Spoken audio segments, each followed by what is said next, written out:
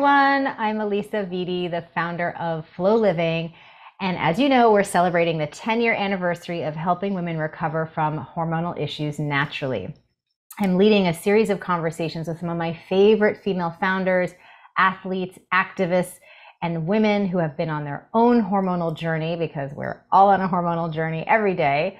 And we're here to unpack why it's so important that you understand your hormones and how they work to remind you that you don't have to tolerate suffering, and to educate you on why it's important to take action.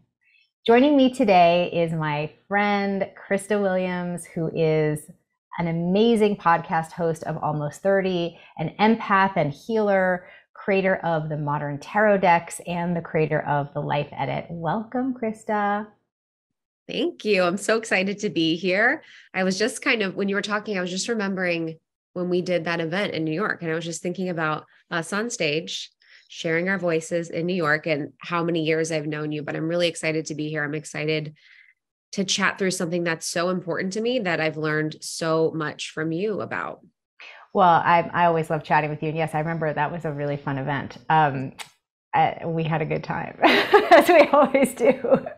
Well, all right, let's get right into it. Tell me about your experience with your hormones. You know, like what has your journey been? You know, we all, or a fun fact, or well, it's not so fun, but an interesting fact is that 80% of women suffer from a hormonal issue at some point in her lifetime. So this is pretty much all of us. And I want to just sort of destigmatize this conversation. So share your your version of rea- hormonal reality. How's that been for you so far? Yes. So I um I think it started when I got on um, birth control when I was pretty young. And I didn't really receive any education about it, just kind of was put on birth control as like the one stop shop solution for me to not get pregnant. And I remember just feeling so depressed and having this period in time where I felt like I wasn't myself. I felt like I just had like a shield or a veil over who I was and having the experience of feeling like I was someone that was really depressed and was really anxious and would go through these things. And I think there's a lot of that that's been, um, that's probably true. You know, I do experience that, but it was definitely exacerbated through my period on birth control. And then I think the biggest journey with my hormones really started when I was in my 20s, when I moved from New York City to Los Angeles when I had a period in time where I put on like 20 pounds in probably a month um, and really, really struggled with my hormones. I was completely burnt out. I was working out all the time. I was just starting almost 30, working a full time job, just had moved, all of these things. And my hormones were completely out of whack. My cortisol levels were super high, which then affected the rest of my hormones.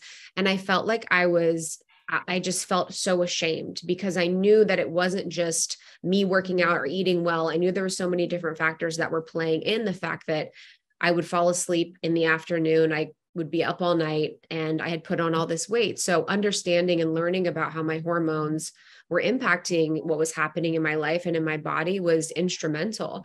And what it really did, most importantly, not only after I learned that was able to sort of balance my weight issues and, you know, the energy level issues, was that it really helped me gain a greater sense of compassion for my body, where I was like, oh my gosh, you are actually in response to all the things I've been doing, which is burning the candle at both ends, working out HIIT workouts all the time, you know, just the disrespect and the level of um, neglect that I had really given my body over the past years and months really was now being shown in what was happening with my hormones. And then realizing that, wow, my body is in response to me and there's these beautiful hormones that are trying to do their best but are actually completely out of whack because of the disrespect I've had with my body was really powerful and it actually gave me so much freedom in my body acceptance journey that I don't think I had before you know to know that yeah, there's this beautiful element of being a woman that is at play in my experience with my hormones that I can really tend to and I can really be with and I can really be mindful of was so powerful and empowering for me. I, this is why I wanted to bring you into the series because I know this story and I love the it's very special that you figured that out, you know, because yes. first of all, that's a a massive undertaking that you went from having sort of this whole experience of depression and then the weight gain and then to for you to be sort of tapped in enough to your own inner guidance system to say you know this is not working for me. I'm not feeling the way i want to feel. Um, how can i start to listen to what's going on and respond in a more compassionate way? That is not the typical knee jerk reaction that we have as women because we're taught to really look at our bodies like you know everything hormonal is a curse you're a victim you know just throw up your hands and and and do nothing. And to not look at it like uh, you know a message from the body. And so i think it's just really wonderful that you were able to figure that out pretty much on your own. I mean that's really an incredible story to share. And i think that it's very likely that we all hear that inner little nudging from our our cells, our soul, saying, you know, there's a better way, but we don't often feel confident enough to listen to that message. And the fact that you did, you know, is just really a testament to how, the relationship that you have with your body today. Yeah. Was it was it difficult to find information to help you in listening to that inner guidance and trying to figure out what the right next next steps were? You know how long was that process? Yeah i think i'm so grateful that i live in los angeles and you know i think that gave me more access to information related to my hormones and related to things outside of like the mainstream because i had spent most of my life on a body journey where I felt like I could hate my body into being the way I wanted it to be. I would hate my body to being thinner. I would hate my body into looking how I felt like it should look. So to have this period in time where I'd gained that much weight was my actual nightmare from the person I was then. So to be faced with like my true nightmare of gaining weight because I was so afraid to be any weight other than less than I was even then was like just like a crisis mode for me. So I was really trying to do anything that I could to figure out what was happening in my body. But I knew based on the energy level thing that I had been having, how my energy levels was so off, my sleep was off, and just the way the weight felt in my body and how hard I was working, I knew that something was off. I knew that something was, you know, not sitting right with me and not working. And I think when you're that desperate to change the way that your body looks, you'll really look at all these sources. You're like, what could it be? Could it be my thyroid? Could it be my hormone? So it was a little bit of, I will give myself credit in that. I'm grateful I listened to my intuition, but I'll also be really honest that I think in my desire of fear of gaining weight, I was like, I'll do anything and I'll try anything. But information wasn't really readily available. It was like, here's your hormones they might relate to something but at that time it was more so like diet nutrition period the end. That's really what's impacting your weight and nothing else. So my education was really just google finding you finding your books finding your work and doing my best i could to educate myself on what could support me. So yeah i mean i think it's unfortunate that like for you and like it was for me and for so many women i mean that there isn't an easy place for us to just go and get those answers and that information. You know when i was going through my experience and yes the physical stuff is very motivating you know with the acne or with weight with whatever you're it, but also the mental health stuff too. I mean mm-hmm. nothing like a whole bunch of depression and anxiety to make you feel like, I thought it was like, my personality. I was like, oh, I'm a depressed, anxious person. This is who I am and it was because it was formative years like the formative yeah. years of high school are like this is who you are so that I just thought it was who I was and that's just oh I just I'm so sad for that version of me because I'm like oh I wish you could know the beautiful aspects of your personality too that were kind of like subdued because the depression and anxiety were so much.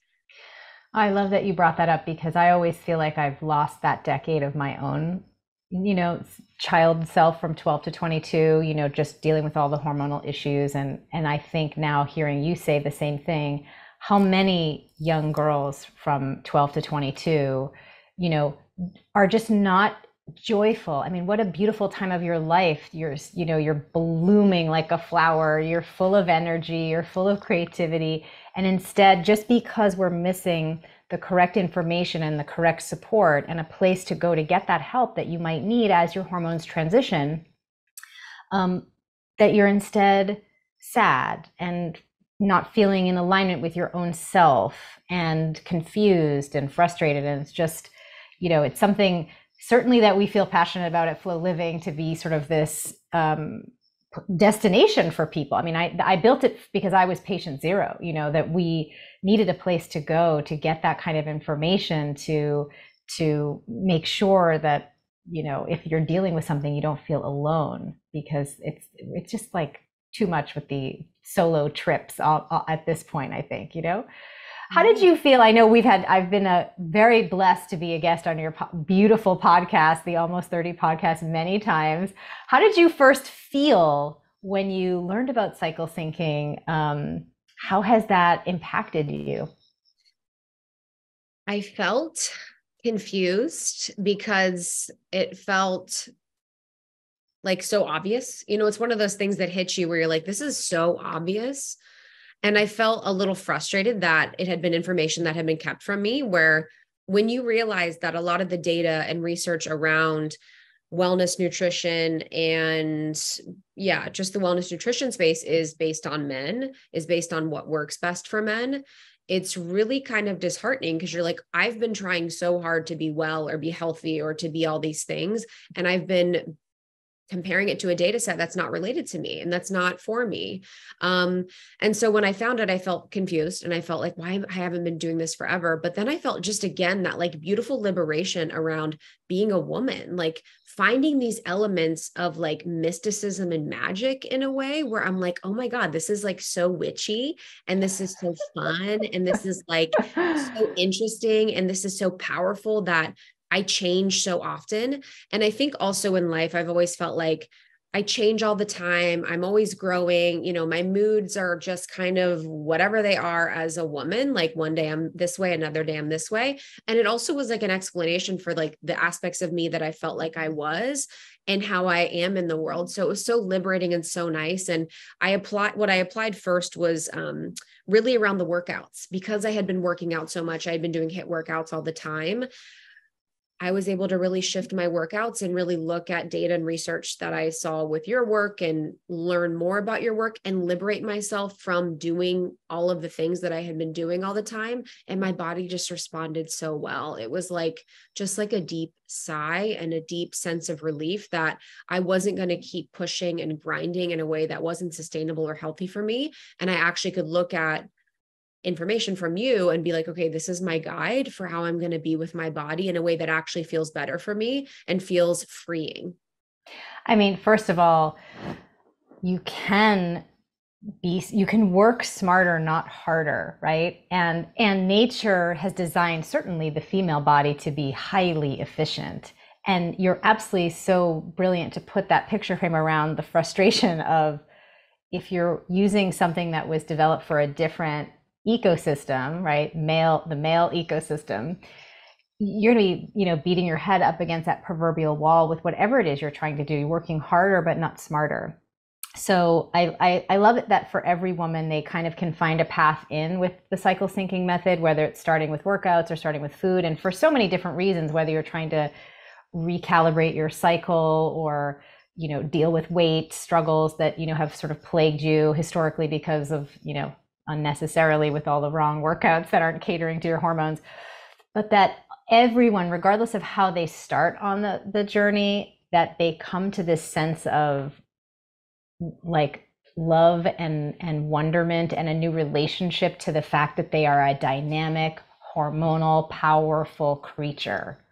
And that that is that the practice of changing your self-care every phase makes you really appreciate the gifts of each phase and, and helps you embrace the fact that you're constantly changing and that you see that as a positive, not as the negative. And I love that it's like a you're you don't have to talk through the therapy around the wounding that trying to be the same every day has done you, but instead you can just sort of like flow through it and and and heal from that and and you know be in a state of joy with with being in your body which i think is so you know, why else are we here? Right. I know. I know. I love that you brought that in too, because it's like when we're on the journey of self love and having deeper self compassion and, and greater wholeness, it's like to do that, we have to understand what is, and we have to see aspects of ourselves that are like not fitting into the boxes and like okay, if so, if what is true is that I'm like a hormonal being that has different cycles that goes through different phases and you know my body changes very regularly by understanding that i can love it and i can be with it and i can tend to it and i can care for it. So i think there's such an expansion of the way that we can love ourselves as these unique microcosms and beings. And you can really look in awe at the female form and the female body and be like this is so amazing and beautiful and it's so powerful. And it's such a it's such a way that um, we can really just empower ourselves and learn to love ourselves more through that understanding alone. Yeah, I, I, I agree. I think there's there's more than just hormonal healing available to you as you use the method, and I think that's really a, a wonderful side effect. Um, you know, I've mentioned earlier that I've been lucky enough to be on your podcast many times, but why do you um, and Lindsay feel like you want to use this platform of your of the almost 30 podcast to talk about these issues with women. Why is that important to you guys? Yeah so almost 30 um, is a podcast that lindsay and i do and i think one of our missions is really to talk about things and share information that we wish we would have known when we were younger or we wish we would have known earlier. Um, we're now over 30 now. You know, the podcast is called Almost 30, and there's so much information that we've shared and discussed on the show that we feel like no one's talking about or we feel like is kind of kept from the mainstream or kept from people. And when I was going through my own hormone journey, there was so much that I was learning from you and from, you know, other people in the space about it that I wanted to share with women. I wanted them to feel better about um, their bodies and how they felt in them and their mm. health and nutrition. And i wanted to give them all the tools that i can. So it felt like such a way to liberate and empower them. And we know and you you know you and i both know that like it's not just about that. It's about how you feel. So if a woman is able to really understand and love her body she's able to be more confident at work. She's able to be more confident dating. Like it impacts all areas of our life in such a really integrative way that seems like it doesn't but i know for me that that understanding and the tools that i was able to use to get better in better relationship with my body changed everything. So it's like such a small thing that seems like it's just health related but it's related to all things um, and we want to empower and support women in that process of knowing and loving themselves more. Uh, it's just so well phrased and I, I i i mean i have almost nothing to add except that i love that you're doing that because you know, I think as women, we tend to feel much safer when we get sort of recommendations from other women that we know, like, and trust. And I think it's just such a gift that you, you know, have gone through this journey, curated some supportive tools, and shared that. You know, not only does that heal your own nervous system, your own cortisol, adrenaline response, you know, but you're also then tending and befriending the women in your community to help them level up in this way and save them some time. I mean, I, I totally get it. When I went through the experience myself, my first instinct was let me help myself put on my own oxygen mask and then if I can figure out how to do that, let me build a platform that's going to now do this for any woman who's going through this issue because it is something that um, helps me every day to feel um, like we're contributing to this massive problem. I mean, there are 3 billion women in the United States alone who are suffering from these hormonal issues like PCOS and fibroids and endometriosis and infertility. And the statistics are just getting worse. You know, infertility went from one in 10 couples to now one in eight. Precocious puberty is on the rise in both young boys and girls. You know, there's just more of these problems. And so, we're just um, you know it's i can't even believe that it's been 10 years. You know i know we're here celebrating this 10 year anniversary where i feel like we're just getting started in terms of being able to support women with um, the new offering that we have. But to make sure that there's a place so that there's just a new a new level of of health care available for women's hormones i think is just so it's it's important for me. I, I, feel like what you know that's like sort of what gets me out of bed every day. Um, education component is really important. You know, I think when we think about how we're going to learn and be with our bodies, we have to educate people and understand the components that we're not learning about. Because I grew up with the food pyramid. I grew up thinking that I had to eat nine servings of grain every single day. Like it's it's just insane how much more yeah. research and information that we now have access to and I'm so grateful that I can be a place and you as well where we can provide people with information that I wish I would have had that's going to really support them in understanding their body and being with their body and treating their body with the love that it deserves. Well, I mean, it's such a delight chatting with you all the time. What do you want women to know about dealing with hormonal issues as we sort of wrap our chat today. What what do you think is the most important takeaway that that that someone can walk away from our chat with today? Mm, what I will say is that having that part of my journey and then, you know, being years from that, I've had, I've been blood tested. I've been, you know, I had great times where my hormones are perfectly in balance. I've had, you know, my hormones be off over the years. And I think if we can approach things with like kindness and compassion, now I see whenever I get blood work done and I can see my hormones as like I'm like a little chemist where I can be like, okay, what levers do I have to pull to like find myself back in balance? Do I need to add more fats? Do I need to do, you know, slow down my workouts, like deeper sleep? Do I need to take more supplements like you can get from FLO Living? Like, what is it that I need to do to support myself and being more whole? So, what I would say to people is approach everything with kindness and compassion and just know that your body is doing its very best. It's listening to every single thing that you say in your conscious and subconscious mind and trying to support you as best it can. So, when we come to our bodies to try and fix them or change them, that's not going to work. We should come to our bodies with the hope that we can love them into more wholeness and into more health. So, as much love and compassion and grace we can have for ourselves in this process, I think is going to support a lot of people because I know it can be frustrating to have skin issues, weight gain, all of the things. Um, but really, those are just kind of alarm bells and messages that our body's sending to us with hopes that we can support it and feeling better. Beautiful. I mean, loving action is all about, you know, where you need to be. And, and I think that's such a nice reframe on the sort of victim do nothing, you know, or try not to think about it kind of, you know, conditioning that we receive. Instead, looking at it as, you know, how can I lean in here? How can I listen? What can I do to be more loving and supportive? Thank you so much for sharing your story, Krista. You know, it's so important that we talk about these things, that we normalize this conversation. I think what you've been doing on your platform at almost 30 is so important to to contribute to the changing narrative uh, around women's health um, and around self-love and more, um, you know, the journey to a more whole and healthy relationship with oneself. And you know we're here celebrating our 10 year anniversary as we have been trailblazing and innovating a path forward for hormonal health care. Um, thank you so much for being part of this celebration with us. I am really excited about what is coming next, and I hope you all download the app that is now free take your evaluation get yourself started see what could be going on for you and and get into that loving action that krista described so beautifully for yourself Amazing. I'm pumped. I, I got a sneak peek, y'all, and it is unbelievable. So thank you so much. I love being in your orbit and I'm really grateful for your work. It's changed my life. I'm grateful for all that you do. And yeah, I just love knowing you as a human. This was a pleasure. Bye for now, everybody.